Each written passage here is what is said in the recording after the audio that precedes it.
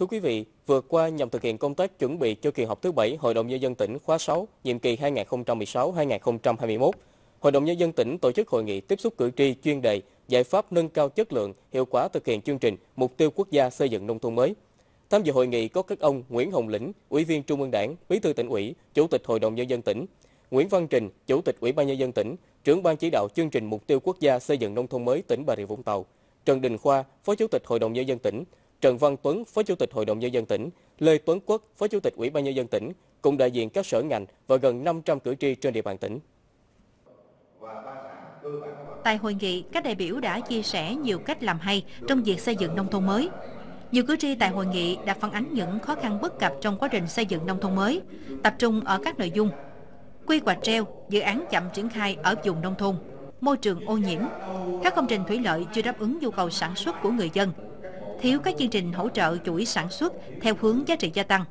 chưa thực hiện việc chỉnh lý giấy chứng nhận quyền sử dụng đất sau khi hiến đất làm đường nông thôn mới. Mặt khác, phát triển sản xuất nâng cao thu nhập cho người dân được xác định là mục tiêu cốt lõi trong nông thôn mới của Bà Rịa Vũng Tàu. Tuy nhiên, trên thực tế, các địa phương vẫn gặp không ít khó khăn trong triển khai các giải pháp giúp người dân phát triển kinh tế, nâng cao thu nhập để đạt tiêu chí số 10 về thu nhập. Đến thời điểm hiện tại, toàn tỉnh có 20 trên 45 xã được công nhận đạt chuẩn nông thôn mới. Thu nhập bình quân đầu người tại các xã xây dựng nông thôn mới hiện nay khoảng 39 triệu 900 ngàn đồng một người một năm, tăng hơn 2 lần so với giai đoạn trước xây dựng nông thôn mới. Từ ờ, nay đến 2020, mức thu nhập để đạt được là 59 triệu trên một đầu người trong một năm là khó thực hiện được. Nay tôi xin kiến nghị với các lãnh đạo, nghiên cứu các giải pháp để đạt được 59 triệu đồng một người trên một năm cần phải sớm mở rộng đầu tư các cái công ty để tạo công an việc làm cho người dân mở rộng các cái dịch vụ kèm theo bên cạnh đó nhà nước cũng cần có quan tâm đến các chính sách hỗ trợ để tăng thêm thu nhập cho người dân tắt cái đèn của ra thì ra có một số ý kiến về vấn đề coi như là cái uh, chương trình mục tiêu quốc gia về thực hiện nay á, là cái công tác tuyên truyền của chương trình mục tiêu này đối với người dân về về cái nông thôn mới nó rất còn mơ hồ.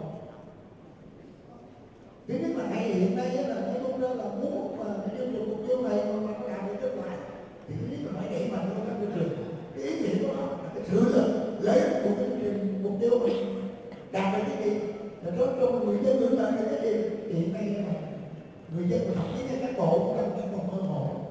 về cái cái cái chương trình mục tiêu quốc gia của nó chỉ biết nông thôn mới cái nông thôn mới cái đâu có hiểu được cái cái lợi ích đó trong cái, cái tiêu chí nông thôn mới thì coi như là cái chương trình này nhà nước là nhân dân cùng làm là như thế nào đó ở cái vấn đề này thì nó cũng mong rằng là trước khi mà chúng ta tham gia tôi là bây giờ là cái nông thôn mới từ năm cái năm hai nhưng mà hiện nay là mong rằng là nó cũng cần hãy nằm trong cái đình để quy định cái để chương trình học cái thứ hộ nghèo này nó rất là khó khăn. Bởi vì đa số cái hộ nghèo mà rơi vào những cái hộ là nghèo là nghèo mà nếu mà dưới dưới dưới một phần trăm thì cái đường khó thì thì chúng ta có nên cố gắng làm những tốt từ này chúng ta phải đưa cần đưa vào cái sáng tạo như thế nào để chúng ta có thể giảm được cái tiêu chí là cái cái cái tỷ lệ hộ nghèo chứ nếu mà kéo dài cái con em của tôi là coi như là cái tỷ lệ là từ neo đơn một hộ một người hai người già thì nó cũng là điều khó đạt cái tiêu chí này liên quan đến cái cái thu nhập đó là cái môi trường. Như lái nói đó các bãi xử lý rác tóc thiên đã làm ảnh hưởng đến sức khỏe của người dân tại xã Châu Khoa và Tóc Thiên nhiều năm vừa qua ờ, rất là nhiều. Mà không những là gây ảnh hưởng đến sức khỏe mà nó lại làm ảnh hưởng đến vấn đề sản xuất. Sản xuất ở đây đó là người ta dùng cái nước đó để ta tưới. Nhưng mà khi dùng nước nó tưới á, thì hoa hậu cũng bị tiêu hụt. Ờ, báo đài ờ, của tỉnh ờ, của trung ương cũng đã về, cũng đã máy các cái hình ảnh rồi cũng đã ghi nhận các cái ý kiến cử rồi, nhưng mà bao nhiêu năm nay thì nó vẫn tồn tại. Thì nhân đây xin kiến nghị với lãnh đạo hội đồng dân tỉnh, ủy ban dân tỉnh, các sở ngành của tỉnh, của huyện Tân Thành cũng nên quan tâm À, để mà cho người dân các xã thông tin và qua được nhờ trên hết và cảm ơn rất nhiều. Hai ý kiến. Thứ nhất về bệnh nhân không ăn cơm và thứ hai về nhà ở về cái bệnh nhân không ăn cơm thì à, thời gian qua thì cũng được sự quan tâm của xã à, của huyện và của tỉnh thì đã coi như là cấp kinh phí làm cái đường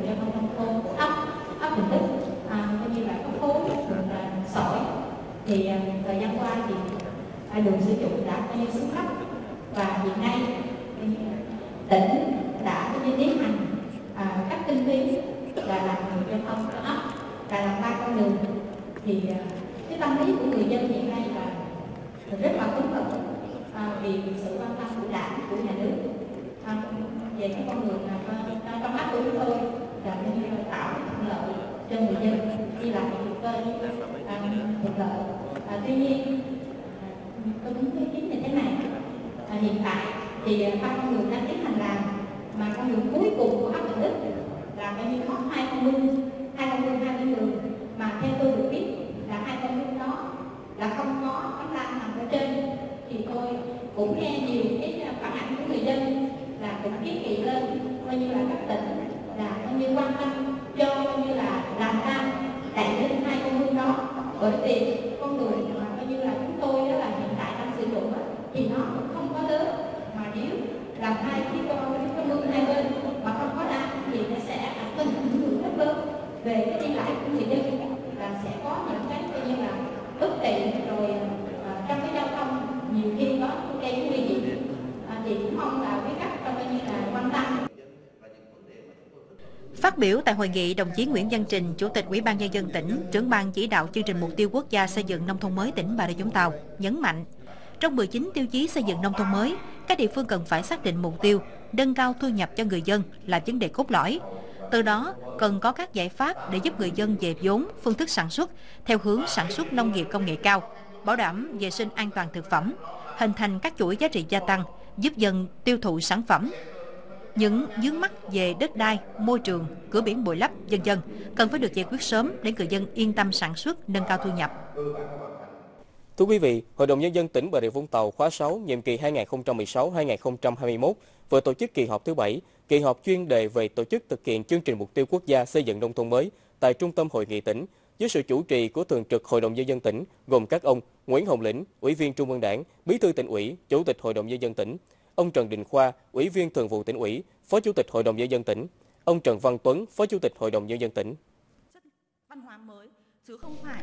Tại kỳ họp, các đại biểu tiến hành thảo luận biểu quyết các nội dung về phương án giao chỉ tiêu, nhiệm vụ phấn đấu và phân bổ ngân sách tỉnh thực hiện chương trình mục tiêu quốc gia xây dựng nông thôn mới trên địa bàn tỉnh giai đoạn 2018-2020 về chính sách hỗ trợ lãi suất tín dụng phát triển sản xuất tại các xã xây dựng nông thôn mới, chính sách hỗ trợ phát triển kinh tế hộ trong nông nghiệp, thủy sản giai đoạn 2018-2020 và việc lấy phiếu tín nhiệm đối với người giữ chức vụ do Hội đồng Nhân dân bầu nhiệm kỳ 2016-2021. Tính đến cuối năm 2017, tổng số xã đạt chuẩn nông thôn mới toàn tỉnh là 20 trên 45 xã, đạt 44%. Tổng số tiêu chí đạt được của 45 xã là 633 tiêu chí, trung bình đạt 14 tiêu chí một xã. Diện mạo nông thôn của tỉnh đã có nhiều thay đổi, khởi sắc. Đời sống vật chất tinh thần của người dân được cải thiện, thu nhập bình quân trên đầu người được tăng lên. Tỷ lệ hộ nghèo giảm qua từng năm, an sinh xã hội ngày càng được đảm bảo. Các điều kiện về giáo dục, y tế, văn hóa tiếp tục được cải thiện, dân chủ cơ sở được phát huy, an ninh chính trị, trật tự an toàn xã hội được giữ vững. Mục tiêu của chương trình quốc gia xây dựng nông thôn mới trên địa bàn tỉnh Bà Rịa Vũng Tàu năm 2018-2020 là phấn đấu đến năm 2020 có 37 xã đạt tiêu chuẩn nông thôn mới trở lên và có 3 trên 6 đơn vị cấp huyện đạt chuẩn nông thôn mới và hoàn thành nhiệm vụ xây dựng nông thôn mới, gồm quyện Long Điền, Đất Đỏ và thành phố Bà Rịa. Bên cạnh đó, góp phần nâng cao chất lượng cuộc sống người dân vùng nông thôn, tạo nhiều mô hình sản xuất gắn với việc làm ổn định cho nhân dân, nâng thu nhập bình quân đầu người tại các xã xây dựng nông thôn mới đến năm 2020 đạt 59 triệu đồng một người một năm. Tổng vốn ngân sách tỉnh hỗ trợ trong giai đoạn 2018-2020 là 1.022 tỷ đồng. Tham gia thảo luận, các đại biểu cho rằng chương trình xây dựng nông thôn mới tại Bà Rịa Vũng Tàu hiện nay còn dàn trải, chưa có mô hình điểm sáng nổi bật thực sự và chưa có cách làm khác biệt phù hợp với đặc thù riêng địa phương.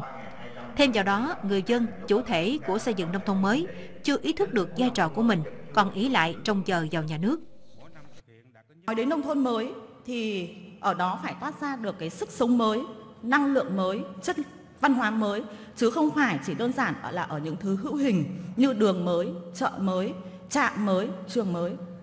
Và muốn đạt được kết quả thực chất, có được xã nông thôn mới, huyện nông thôn mới đúng nghĩa thì tránh tình trạng bình mới rượu cũ. Theo tôi nên chăng cần thay đổi trong cách nghĩ để từ đó thay đổi trong cách làm. Và điều đó thì đòi hỏi không phải chỉ là ở quyết tâm mà có lẽ còn là dũng khí. Và cần có dũng khí theo tôi thì trên một số những cái vấn đề như sau. Thứ nhất, đó là dũng khí để tìm ra cái riêng có của Bà Rịa Vũng Tàu trong xây dựng nông thôn mới. Xây dựng nông thôn mới cần thực hiện với nhiều cách làm khác nhau, tùy theo đặc điểm, tiềm năng của từng địa phương mà vận dụng một cách thích hợp.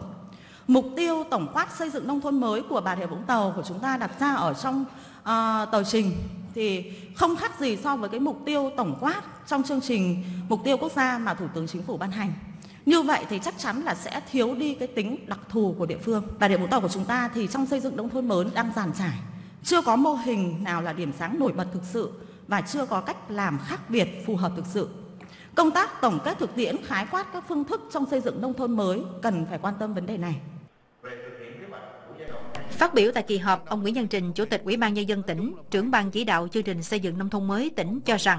bên cạnh những kết quả tích cực mà chương trình xây dựng nông thôn mới đã mang lại qua 7 năm triển khai thực hiện, thì vẫn còn một số hạn chế yếu kém, đó là nhận thức về vai trò, trách nhiệm của người dân về xây dựng nông thôn mới chưa đầy đủ.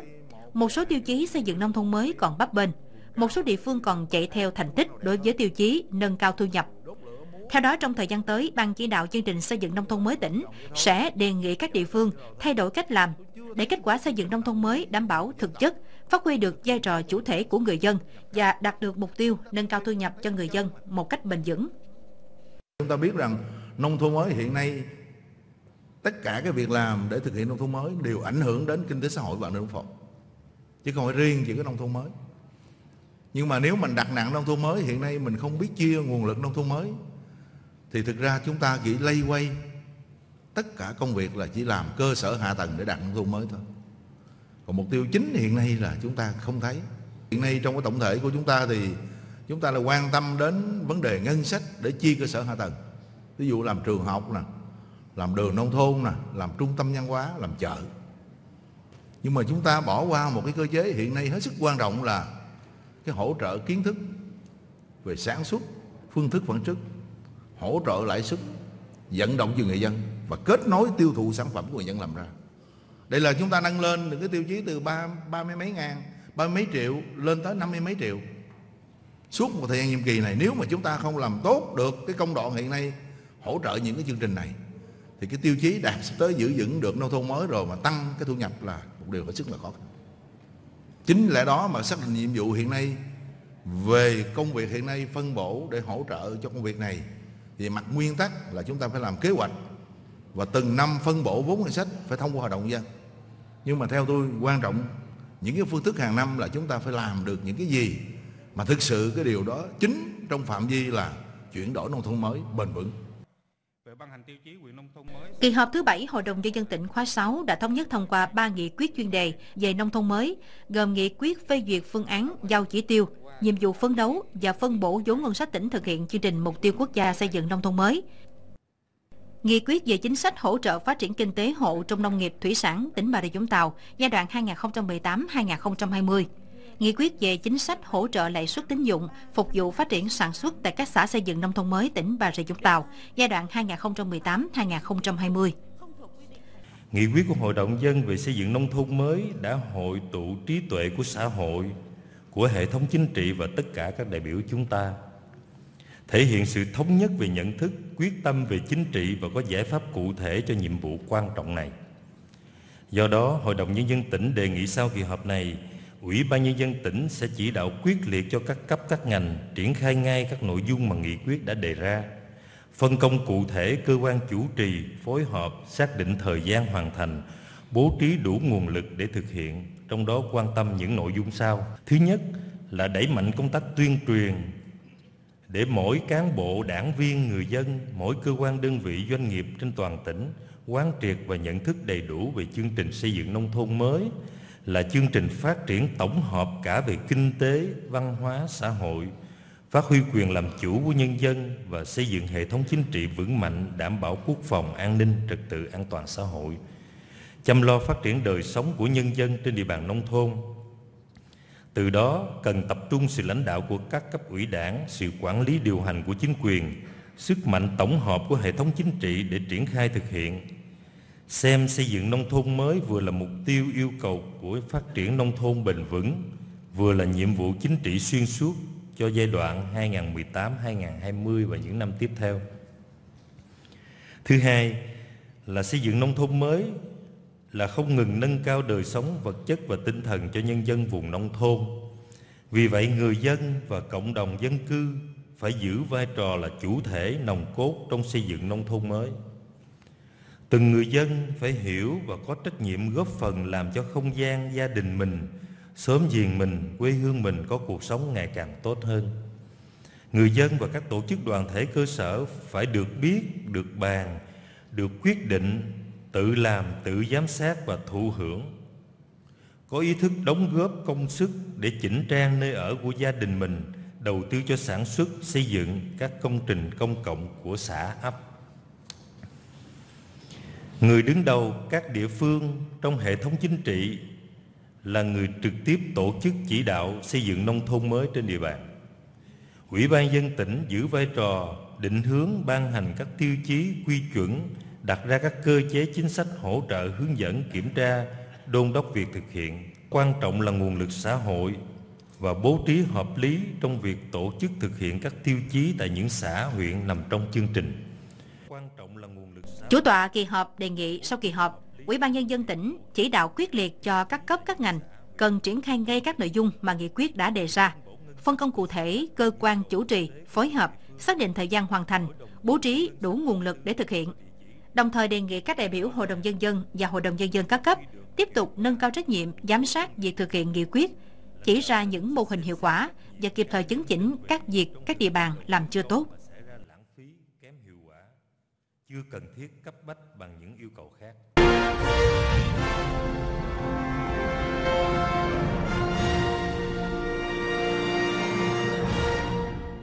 Thưa quý vị, thông qua những phản ánh của cử tri về tình trạng nạo vét hồ sông Hỏa, huyện Xuyên Mộc khiến nước trong hồ vẫn đục, dẫn đến nhiều hecta thăng long của người dân xã Bông Trang bị dịch bệnh hư hỏng. Qua phản ánh của người dân về tình trạng khó khăn trong sản xuất nông nghiệp, đoàn giám sát Hội đồng nhân dân tỉnh do ông Trần Đình Khoa, Phó Chủ tịch thường trực Hội đồng nhân dân tỉnh làm trưởng đoàn đã có khảo sát thực tế tại xã Bông Trang, huyện Xuyên Mộc về vấn đề này. Đoàn giám sát của Hội đồng Nhân dân tỉnh đã tiến hành khảo sát tại khu vực nạo vét hồ sông Hỏa. Tại đây, công việc nạo vét vẫn đang diễn ra với hơn mấy chục hecta diện tích mặt hồ bị đào bới, dẫn đến nước vẫn đục đầy sình. Trong khi đó, khu vực quanh lòng hồ có rất nhiều thanh long của người dân được trồng và sử dụng nước tưới tại hồ sông Hỏa. Xã Bông Trang, huyện Xuyên Mộc là địa phương có diện tích trồng thanh long lớn trong tỉnh, gần 100 hecta. Những năm qua, nhờ nguồn nước từ công trình hồ sông Hỏa, kè Thành long phát triển tốt, mang lại thu nhập cao cho người dân. Để đảm bảo nguồn nước trong hồ, đồng thời tận thu vật liệu xây dựng, góp phần tăng nguồn thu cho ngân sách địa phương. Năm 2017, công trình hồ sông Hỏa được thực hiện nạo vét. Tuy nhiên, hiện nay, do quá trình nạo vét kèm theo tận thu vật liệu săn lấp, khiến nước bị dấn đục ảnh hưởng lớn đến việc sản xuất thanh long của người dân. Gia đình bà Nguyễn Thị Thanh Thu, ngụ tại xã Bông Trang, có 6.000 mét vuông đất trồng thanh long. Đây cũng là thu nhập chính của gia đình bà. Thế nhưng thời gian gần đây, khi cơ quan chức năng tiến hành đạo giác hồ sông Hỏa, dẫn đến nước sử dụng để tưới bị ô nhiễm, làm thanh long mất giá, khiến gia đình bà gặp rất nhiều khó khăn. Bây giờ là thanh long à, à thứ nhất là bây giờ làm cho cành nó bị nấm nấm cành nấm nấm gốc rồi trái thì ờ, ờ, làm cho dơ rồi bán không có được. Giống như là giá thanh long đỏ là 50 ngàn mà bây giờ bán chỉ có 45 còn thanh long trắng là 17 mà bán có 14 thành ra bây giờ mình mình nói bây giờ làm sao để cho nước nó sạch lại, nước nó trong đi để mà tưới chứ. Cái kiểu này là ừ, nước nó hay bị như vậy là người ta không có ai dám vô mua hết á. Mỗi lần kêu vô mua không có gì dễ mua, người ta khó khăn lắm. Người ta kêu là thuốc mà tụi em, mà người ta bắt mình phải rửa đi mà làm sao mà rửa được? Người nhà mình thì mình còn biết được là thanh long này là do cái nước bẩn. Còn mà như đem ra người ta mua là người ta nói thanh, thanh long xịt thuốc bình uh, nấm thúi ờ, cành này này giảm từ 5 đến 3 đến 5 ngàn một một một ký. À, bên tỉnh về làm sao để cho cho cho nhân dân người ta được nhờ là làm sao cho cái nước nó sạch đi. Với lại hay là uh, người ta làm thì người ta ngưng hẳn đi rồi đừng đừng có làm đến cái mùa mưa thật mưa thật nhiều thì có làm thì mua mưa thật nhiều làm chứ còn mà mùa mùa này thì thấy bây giờ càng ngày càng nước càng đục sao qua khảo sát thực tế cho thấy tình trạng tận thu vật liệu săn lấp quá nhiều đã khiến nước trong hồ bị đục. Việc này không chỉ ảnh hưởng đến sản xuất nông nghiệp, lượng nước sinh hoạt của người dân cũng bị ảnh hưởng nghiêm trọng. Đoàn đi khảo sát tại nhà máy cấp nước sông Hỏa. Trước đây, bình quân một ngày, nhà máy cung cấp trên 5.400 mét khối nước cho các xã Bông Trang, Bưng Riền, Phước Thuận và hỗ trợ một phần cho xã Bình Châu, huyện Xuyên Mộc. Thế nhưng hiện nay, do nước bị đục, thời gian lọc lâu hơn, các máy bơm liên tục bị tắc nghẽn, nên mỗi ngày lượng nước sinh hoạt cung cấp cho người dân chỉ còn khoảng 4.000 mét khối. Chưa kể, các trạm bơm phải hoạt động công suất 24 trên 24 giờ mỗi ngày, tăng hơn gấp đôi so với trước đây, và phải tốn thêm chi phí nhiên liệu, hóa chất, nhân công để xử lý. Thì qua ý kiến phản ánh của người dân à, nước hồ sông Họa bị đục. Vì vậy cho nên ảnh hưởng đến à, tình hình canh tác nông nghiệp, đặc biệt đối với tất cả những hộ dân trồng thanh long ở ngay tại khu vực của ấp Trang Nghiêm của à, xã Bông Trang này. Thì hội đồng dân tỉnh tiến hành khảo sát nhằm nắm lại cái thực tế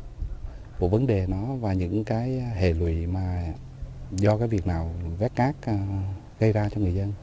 thì chúng tôi thấy rằng như này cái chủ trương nào vét cát ở lòng hồ để đảm bảo dung tích hồ chứa là hợp lý. À, tuy nhiên vào mùa nắng thì ờ, lượng nước cấp ờ, của hồ không nhiều. Dung tích của hồ thì càng lúc là càng giảm. Vì vậy cho nên là cái chất lượng của nước nó đậm đặc hơn do bùn của công việc khai thác cát gây ra. À, vấn đề này à, làm cho chính bản thân nước tưới của tất cả người dân trong mùa nắng có lẫn tất cả những bùn thải mà ở trong tất cả các ừ, trong hồ nước. Thêm một vấn đề nữa là cho dù à, cái việc khai thác cát cũng đã ngừng được một thời gian. Tuy nhiên mà như à, tất cả các à, bạn thấy rằng là hồ nước vẫn đục ngầu. Vấn đề này ảnh hưởng khá lớn đến người dân. Tôi nghĩ rằng cái vấn đề này thì Sở Nông nghiệp Phát triển Nông thôn, Sở Tài nguyên Môi trường sẽ xem xét lại để đánh giá về cái tác động môi trường của việc nạo vét cát. Để chúng ta có một cái cách nào vét cát nó bền vững hơn. Để thứ nhất vừa đảm bảo được cái mục tiêu đó là đảm bảo được dung tích hồ chứa nước. Nhưng vấn đề thứ hai nữa đảm bảo chất lượng nguồn nước à, phục vụ tưới nước cho người dân cũng như phục vụ cấp nước sinh hoạt cho nhân dân. Sau khi khảo sát thực tế, đoàn đã có buổi làm việc với Sở Nông nghiệp và Phát triển Nông thôn, các cơ quan chức năng có chuyên môn liên quan và đơn vị thi công là công ty trách nhiệm hữu hạn dịch vụ sản xuất Cát Hà theo đó, Sở Nông nghiệp và Phát triển Nông thôn cho biết, dự án đảo vét lòng hồ chứa nước sông Hỏa thuộc địa phận huyện Xuyên Mộc được Ủy ban Nhân dân tỉnh chấp thuận chủ trương đầu tư. Đầu năm 2015, từ tháng 6 năm 2017, đơn vị thi công bắt đầu tiến hành thi công. Trong khi đó, theo Sở Tài nguyên và Môi trường cho biết, đến thời điểm này, dự án vẫn chưa được cấp phép khai thác khoáng sản, nhưng công ty trách nhiệm hữu hạn dịch vụ sản xuất cát hà đã vận chuyển hơn 8.000 mét khối cát ra khỏi khu vực Tại buổi làm việc, Sở Nông nghiệp và Phát triển Nông thôn nhận trách nhiệm quá trình đơn vị thi công triển khai dự án. Sở Nông nghiệp và Phát triển Nông thôn chưa kiểm soát chặt chẽ môi trường. Kết luận cuộc họp, ông Trần Đình Khoa, Phó Chủ tịch Hội đồng Nhân dân tỉnh cho rằng, Ủy ban Nhân dân tỉnh giao cho Sở Nông nghiệp và Phát triển Nông thôn chịu trách nhiệm chính trong việc quản lý đơn vị thi công. Nhưng đơn vị chưa làm hết trách nhiệm được giao và buông lỏng công tác quản lý để dẫn đến ảnh hưởng cho người dân trong quá trình sử dụng nước tưới phục vụ trong sản xuất.